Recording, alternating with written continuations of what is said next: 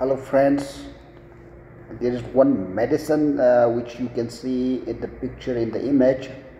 This is basically for the eye infection but according to the drug inspector this is uh, causing a blindness. So anyone using this uh, eye sort of thing this uh, liquid uh, drops this is not recommended. If you found anywhere this drug just report it to the concerned department so that we can uh, save eyes of the people. So it's highly important message from the drug inspector side.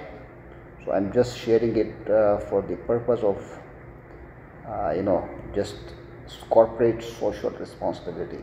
So please do a favor please do share it and let the people know about this dangerous medicine